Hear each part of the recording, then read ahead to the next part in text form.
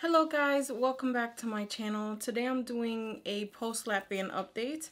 It has been about two years and five months since I've had my lap band. Um, if you guys have watched my previous video, I explained that I am considering getting the sleeve done, which is still a process that I'm considering. I'm sorry guys, it is like I don't even know what time it is at night and I'm just I wanted to do this it's 10 o'clock at night and I've been wanting to do this video all day but I have been busy doing other things things that need to be done and I'm just not all there. I don't feel as peppy as I normally am and I'm just mentally drained. But anyway, I know some of you guys like to see the updates of my lap band journey and you know, it's not easy no one said it was. Um, but anyway, today I had a cardiologist appointment. Sorry. Sorry, I'm just, whew, I'm just, oh, I don't know. I've just felt a little flush. I need to walk out the room. I, I've been kind of on and off all day. Like, I don't know if the weather is playing tricks with my body or what. I'm just not feeling my energetic self for the last few weeks. I've been a little bit more energetic to get things done and all that stuff. But today and last night, I've just been feeling some type of way. But anyway, sorry. Um, yes. Um, so yes. So, okay. So I saw, what the hell was I? Okay. So I went to see um, my APRN, the person that I see, my post-op person, and I saw her and I did make a mention, you know, I know you gave me an unfill and you still won't tell me the number, and she kind of danced around it and I said, all right, I got you. I said, don't worry, whatever, whatever. I had an attitude. I was like real stank that day. And, you know, I explained to her, I was like, I'm, I am doing better. I'm doing a lot more activity as well. And I was telling her, mind you, we had already discussed why I was considering the sleeve. And I told her that, you know, I'm, I'm really sick and tired of kind of fighting myself. I, I know I went in with great intentions getting the lap band. I wanted to be more in control of how I lose my weight and kind of I, I like the fact that you know you can get a fill and an unfill if you're feeling some discomfort and stuff like that. And you know it it was kind of like a test to see if I can do this weight loss thing. And if and if in the long run I needed to get another surgery I was down to do that. It was never a thought in my mind that you know I was going to uh, it's not like I planned it or anything like that, but I always was realistic with myself. Like, what if, for instance, the band just wasn't working after a while? After like maybe five or six years, the band just wasn't doing what it was supposed to do, or maybe it was too loose, then yes, I would consider another kind of surgery. So, I wasn't unrealistic with it, but I wasn't expecting to want to go into the sleeve or to do another kind of surgery just within two and some change, two years and some change out. So, you know, it's upsetting to me because I am my own worst enemy and I am very hard on myself. But anyway, so I kind of was bitchy with her. I had already explained to her why I had wanted, why I was considering the sleeve. It wasn't like a, a definite but this time around, I said, you know, I still want to talk to my doctor, which is my surgeon. And um, his name's Dr. Tischler. He's awesome. And I did tell her, I was like, you know, I want to speak with Dr. Tischler as well. I was like, I got your opinion about it, or lack thereof, whatever. And she was like, well, what is it that you're looking for with the sleeves? So I told her, I was like, I'm just tired. And I was getting emotional. I was like, I'm just tired of fighting myself. Like, I, I always feel stuck or I always feel hungry. Like it's it I can't have one good day without maybe having a episode where I'm feeling like real tight around my chest area or starving Marvin. So it's it's annoying because you know you want your band to work for you and I try everything from eating mushies, which they don't want me to do that all the time. They don't want me to depend on mushies. Um I drink too many fluids a day, so that's never going to be an issue as far as fluid intake goes, and I hope it's not going to be an issue if I decide to get the sleeve. But, um, you know, I've tried everything. I tried to cook my foods a little softer. I chew, chew, chew. People watch me eat. They know I don't eat like, oh, you know, like I don't deep throat my food. But um, anyway, it just, I was upset because I had to explain myself to her again. And I didn't understand where she was coming from because I told her I'm tired of fighting with myself. You know, I feel like I'm constantly, you know, upset because I'm always feeling hungry or I'm when I do eat, I get stuck and I can't you know, I can get up and walk around, but then I'll take a bite and then I'll feel discomfort. Even though I'm still hungry, I have to force myself to stop eating because I'm uncomfortable. And then I just deal with being hungry and uncomfortable. So I explained that to her and she was like, Well, what do you mean? And I'm like, What? I said, I just told you. It was like, I'm having discomfort. I want to consider something else that may help me out. I may not get stuck. I may not get hungry enough. She's like, Well, what do you mean by that? Listen, I just. Some of you guys that are on my personal Facebook have seen this little rant video that I made. I just don't do stupid well. Do not act stupid around me. Do not act foolish. Do not act like diddy. Do not act, just don't act that way around me. It just pisses me off to no one because here I am pouring my heart out to you saying, you know, I, I just, I'm not happy anymore. Like I'm in pain.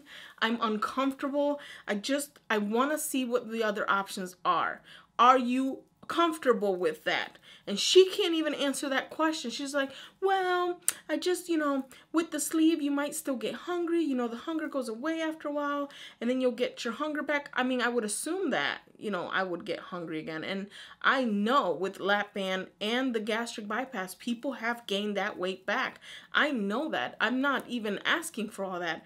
I told her I want to be comfortable on an everyday basis, knowing that because one day I was able to eat this amount of food, that the next day I should be able to eat this amount of food, not this, or to throw everything up. And I was just looking at her like, why do you keep asking me the same question? I'm answering you the best way I can. It's like, I had enough. I said, well, you know what? I got your opinion. I want to meet with Tischler. All of a sudden, okay. So I'm meeting with my doctor in a couple weeks and all of a sudden she's referred me to my dietitian. I had a cardiologist this week. It hasn't even been five days since well five business days since i've gone to my doctor's office. So you know it's just so funny to me. Like i kind of had to almost like lose my shit on her ass in order for her to even acknowledge that you know, I'm I'm bothered here. Like you're pissing me the fuck off. You're not being honest. You're just eh, pussyfooting around the fucking situation. Like just tell me what you think. That's why I asked you in the first place. Now I don't want to know what you think. Now I'm just I want to talk to my doctor. I I was done. It just whew, listen. I could be nice. Yes. it just doesn't happen. But anyway, that's that. I saw the cardiologist today. Um, and I was mortified because I was like, oh my God, they're gonna kill me. They're gonna put me on a treadmill. I'm gonna pass out. And then my shirt's gonna like lift up and you're gonna see my rolls. Like, I'm just thinking of the worst thing ever. And it's comical, but I was like, oh my God, I had to mentally prepare for that. So I go in, they do an EKG. Nothing's changed from the previous EKG. So I was having issues a few months ago, like maybe six months ago. And all is well. I am taking care of myself. I am taking my blood pressure pills. That's one thing I've been compliant with. So my body has been just better. My blood pressure hasn't been, you know, high. I, I do notice some days I've had headaches, but I don't know if that's due to my stressors, and that's kind of what I think it is. But anyway, I digress. Yes, so I saw the cardiologist, and he actually didn't even work me up. He says he's comfortable with clearing me for surgery. Nothing has changed. He's seen me. Um, I've had an echocardiogram done many, many moons ago, a few years ago. So he actually has those results. He has all my records. So he felt comfortable with clearing me for surgery. So that's good. um, I have a dietitian or my first dietitian appointment in, in January. Whoa, in June and I don't know how many I have to do before I can just have everything sent out to the insurance company for approval. But it was so freaky when they called me. They're like oh yeah um we're doing a you need to see the cardiologist for a pre-op. And I was like what? Like I wasn't expecting that. Um I know that she had given me a referral for a psychiatrist because you have to see a psychiatrist and I'm a little crazy and for the diet for the dietitian. So I knew that that was gonna happen sooner or later. But when the cardiologist calls, I was like, oh shit. She took me seriously. One about time, and two I was a little shocked. But anyway, that's neither here nor there. Now, ever since my unfill, I have gained weight. Of course I have. Um, I am better at eating.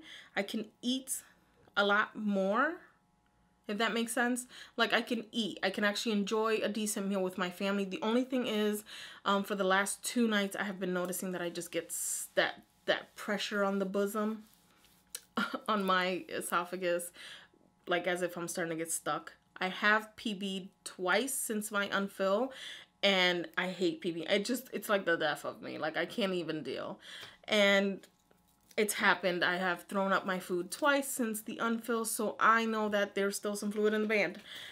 But, you know, I think because I was eating too fast because I was hungry and I wasn't, you know, checking myself and thinking back. But for the last few days, I have been good. I have been back on MyFitnessPal. Like, I'm trying to catch up because I do remember for the most part what I've eaten and how much. And I write it down because now I have to see the dietitian, so I need to have something for her.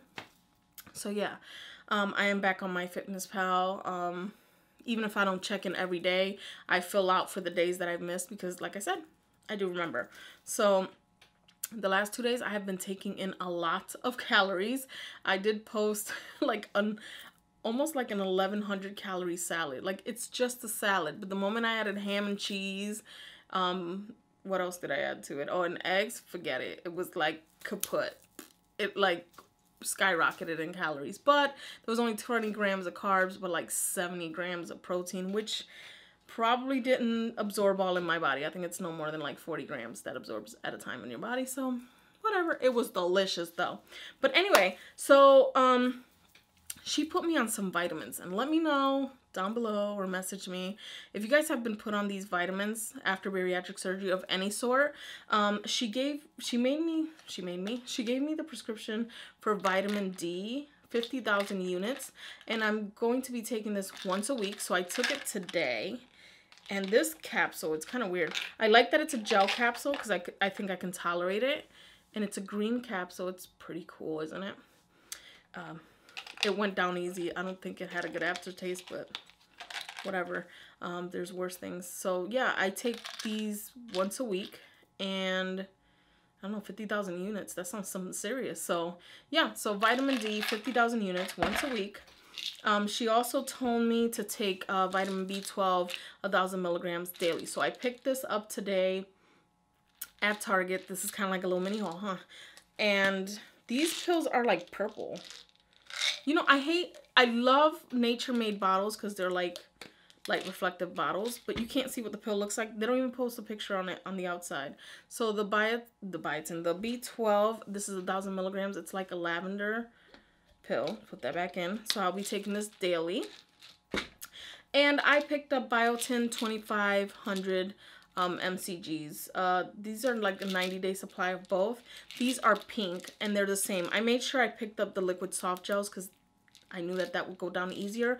And because I can't tell what's in the other bottles and they sound really heavy, I wasn't even going to try it because sometimes I still get stuck on taking certain pills, even like a regular Tylenol. So it's I can't even imagine taking something after I have the sleeve done and just being pissy about it because it got stuck. So yeah, so I'm taking Bi biotin. So I started taking these today. So maybe that's kind of why I've been feeling like hot flashy. Like, I don't know. I've just been feeling off. Um, so yeah, that's pretty much it. Um, I'm still looking for a multivitamin that I can take every day um, and not feel like I would rather swallow something sounded so awful. I would rather swallow a pill than chew a pill, if you get to my drift. But these, like, pills are like horse pills. So if you guys know of any, like, tablet or gel cap, like, multivitamins, which I doubt there really is, um, let me know. I need help. um, I've done the gummies, but I don't know, like, they don't come with as much and they're just sometimes a little bit more expensive and they don't have as much nutrients as a regular multivitamin does. So that's my whole beef with that. But anyway, this is my week 200 million something or other. I'll of course have it linked in the description or I'll just put lap band update, yada, yada, yada. So yes, as of now, we are considering the sleeve and we are working me up to get the sleeve. So yes, and I'm going to be compliant on my meds. Oh, and I wanted to show you guys an app that I got that helps me, that reminds me to take my meds. And I can't find it. Oh, there it is. It's called MediSafe. It's called MediSafe. And uh, my friend Alicia. Hey, boo. Sorry, I gotta take you down. So it's called MediSafe. And of course, I have an Android. And you pretty much just take the pills. Like right here, it says biotin scheduled for 8 o'clock. It's really, really cool. You can skip your meds. Um, and what it does is when you set your reminder, it, it just gives you like, the sound of it is like a rattle of like a pill. So like that. And it reminds you, it reminds me every day at 8 a.m. to take my um, high blood pressure pills. So I've been doing that. And then I just added all my vitamins. So this is a really cool app. And it's called, because I always forget the name and I just said it, MediSafe. And it looks like, I don't know, Damn it. It's a little teal and I don't know, it looks like a barcode. So it's half teal and half barcode. Yeah, that's the icon. I don't know if you guys can see that. I won't know until I edit it. But anyway, yeah, that's pretty much it for my update. Yeah. Oh, and MyFitnessPal. I use MyFitnessPal. Oh my god, I'm scattered all over the place. Anyway, I love you guys. I'm gonna go film another video, a beauty related video, um, before my night is over but I will update upload this tonight. Just don't know if it's gonna be tomorrow, Wednesday, but right now it's Tuesday, 10:30 ish. anyway, I love you guys and I hope this video is informative. Really. Bye.